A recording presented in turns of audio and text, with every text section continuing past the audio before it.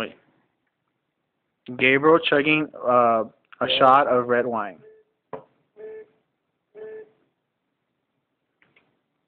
Go for it, Houston. Okay. Wait, you have to you have to say the deal.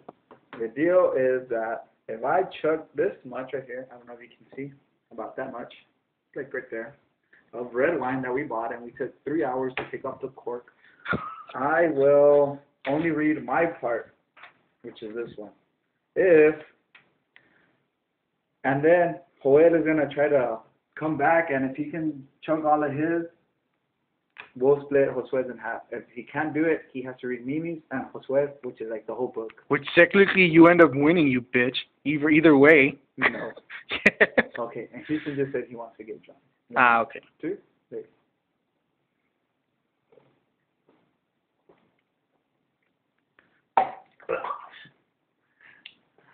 You can't make faces. Ah, you lose. You know what it tastes like? What? Hey, you freaking throw up afterwards and what that taste that stays in your mouth. Ah, okay. Well, here, my turn.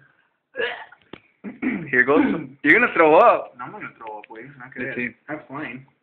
Okay, you see that? That's a little bit, okay? Okay, there goes Joel in our study session.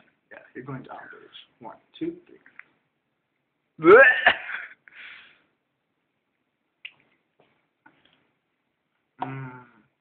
red wine. Look, William, come out.